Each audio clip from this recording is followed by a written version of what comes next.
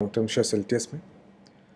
और जो समय हो चुका है, करीब दो बज चुके हैं। मैं यहाँ पे टिकर टेप की साइट पे देख रहा हूँ। आपको भी डिस्क्रिप्शन में लिंक दे दूँगा। जो लोग फंडामेंटल्स देखना चाहें या वो ज़रूर देख सकते हैं इस वेबसाइट पे। तो हम कुछ स्टॉक्स लेंगे, जैसे I R C T C Bajaj finance और एच डी साथ ही साथ, जैसा कि आप सबको पता है कि आज भयानक फिर से गिरावट रही पूरे मार्केट में। और कह सकते हैं कि ये of course it was black Friday एक काफ़ी गिरावट है पूरे भारतीय बाज़ार में। तो ऐसी स्थिति में हमें कुछ स्टॉक्स पे निगाहें रखनी पड़ती हैं और जैसे कि मैं परसों ही बता रहा था और कल भी ज़िक्र किया यस बैंक के बारे में कि उसमें जो स्थिति है थोड़ा सा डामाडोल है और आज की स्थिति आपको पता ही है कि क्या हुआ उसमें। खैर, हम यस बैंक की बात ना करते हुए कुछ आईआरसीटीसी के बारे में बात कर लें। आईआरसीटीसी का जो मेरा लास्ट वीडियो था, उसमें भी एक उल्लेख किया गया था मेरे द्वारा कि जो है बहुत एक तरफा जब भाग जाता है तो वो ट्रेन जो भागने लगती है, इस प्लेटफॉर्म पे दौड़ने लगती है तो छोड़ देना चाहिए, पकड़ना रिस्की होता है। पूरे बाज़ार में गिरावट लगातार आ रही है, उसका एक ही रीज़न है, आप सबको पता है, कोरोना वायरस। और ये अभी कितना थमने का नाम लेगा, अभी कुछ भी नहीं कहा जा सकता, क्योंकि इससे कितनी ज़्यादा इंडस्ट्रीज़ प्रभावित होने वाली है ट्रेवल जैसे कि एयरलाइंस होटल्स टूरिज़म स्पॉट्स जितने भी हैं पर्यटन या पर्यटन के स्थल से दुनिया भर में, ये सारा व्यवसाय पे प्रभाव पड़ने वाला है।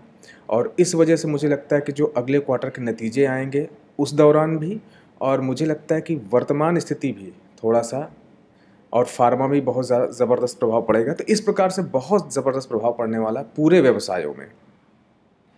चाइना दुनिया का सबसे बड़ा लीडर था, सप्लायर, एक्सपोर्टर और सारे देशों ने जो है थोड़ा अवॉइड कर रहे हैं इस बीमारी की वजह से, क्योंकि पहले अपने आप को सुरक्षित रखें, बाद में तो ट्रेडिंग चीज़ें हैं। तो ऐसे में अब इंडियन आईआरसीटीसी जो है स्टॉक सर्किट पे सर्किट मतलब लोग लगातार बेच रहे हैं, मैंने देखा इसमें। भयानक बिकवाली देखी गई और मुझे लगता है कि आने वाले समय में और भी इसमें देखने को मिल सकता है। इसलिए फ़िलहाल जो लोग इसमें ख़रीदने की सोच रहे हो थोड़ा सा अवॉइड करें। मार्केट अभी किस लेवल तक जा सकता है। और मैंने तो एक वीडियो ही बनाया था कि ऐसे डिज़ास्टर मैनेजमेंट के लिए आपके पास एक फ़ंड होना चाहिए, जो संभवतः आप लोगों में से कुछ जागरूक नागरिक होंगे। तो उन्होंने कुछ फ़ंड बचा के रखा होगा तो ऐसे मौके पे धीरे धीरे निकालें, हर गिरावट में। वही आपको सुरक्षित रख सकती है। बाकी तो मेरी सारी सिंपैथी हैं आप सब लोगों के साथ, और सिर्फ़ आपका ही नहीं, आपका पोर्टफोलियो नहीं लॉस में दिख रहा होगा। ओवरऑल सभी का, चाहे वो बड़े फंड हाउसेज हों, चाहे जो भी दिग्गज निवेशक हों, सबको जो है नुकसान झेलना पड़ रहा है। क्योंकि जब पूरे मार्केट में लगातार गिरावट है तो नुकसान होगा। आज जो आई से का प्राइस है, तेरह सौ उनसठ रुपये के भाव पे, यानी दो बजे की स्थिति यहाँ पे दिखाई दे रही है। गिर के करीब करीब पाँच प्रतिशत गिर चुका है। यहाँ पे लोअर सर्किट आई थिंक लग गया है।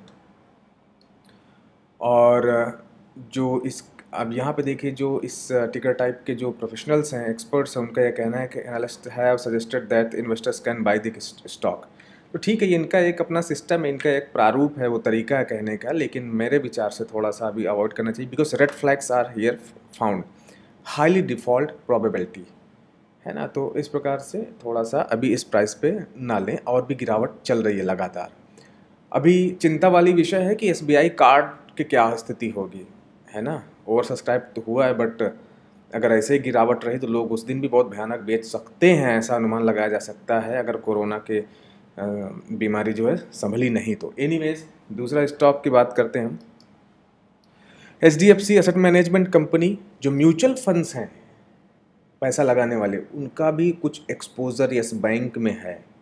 तो H D F C asset management यानी ए एम सी में भी यहाँ पे गिरावट है, और मुझे लगता है कि अभी और तथ्य सामने आएँगे कि किन किन लोगों का जो है पैसा यस बैंक में या बॉन्ड्स के ज़रिए या जो भी म्यूचुअल फंड्स के माध्यम से, जो भी हाइब्रिड फंड्स के माध्यम से निवेशित हैं, उनको भी झटके वाली बात है, काफ़ी लगा तो इसमें भी थोड़ा सा नज़र बनाए रखें। देखिए, बड़े दिग्गजों को अगर आपको गिरावट में मिले तो उनमें स्थिति बनाने से ना चूकें, लेकिन फ़िलहाल अभी गिरावट चल रही है, ठीक है?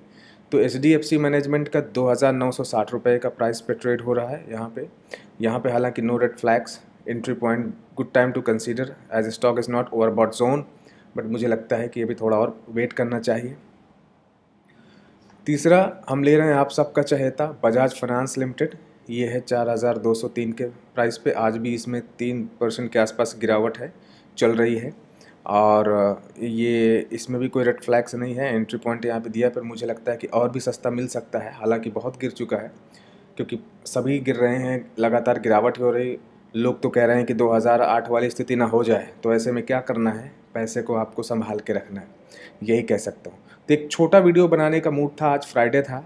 आज मार्केट बंद हो जाएगी, फिर मंडे को ही खुलेगी। तो आईटीसी में भी ज़बरदस्त यहाँ पे मैं देख रहा हूँ कि एक सौ बयासी रुपये आज भी इसमें जो है काफ़ी गिरावट है है ना? तो चाहे एफएमसीजी हो, चाहे जो भी सेक्टर हो, सभी प्रभावित हैं इस गिरावट में। तो ये तीन स्टॉक के बारे में मैंने जो अपडेट किया तो इसमें यही कह सकता हूँ कि नज़र बनाए रखें इन दिग्गजों पे। चाहे एच बैंक में जो लोग बैंकिंग में पसंद करते हैं, पैसे ना लगाना तो वो एचडीएफसी बैंक पे फोकस करें। बाकी तो इंडस बहुत टूट चुका है, अभी उसका पता नहीं भाई जिनका एनपीए वगैरह निकल रहा है, कितना और कहाँ पर निकले, कितना कहाँ एक्सपोजर निकले तो उसमें थोड़ा सा डर रहता है रिस्क रहता है। तो ये है, अच्छी कंपनियों को हमेशा निगाह बनाए रखें। पैसा थोड़ा सा अगर मान लीजिए अगर आपके पास जो भी इन्वेस्टेड हैं, उसके अलावा भी अगर आप अच्छी कंपनियों में इन्वेस्टेड हैं तो बने रहिए। जो भी आगामी आपकी प्लानिंग है कि थोड़ी सी अमाउंट है, या मान लीजिए सौ रुपये उदाहरण के लिए तो उसका दस रुपये अभी निवेश करें, नब्बे रुपये बचा के रखें, और भी आने वाले समय के लिए कितनी गिरावट हो जाए, कुछ नहीं पता।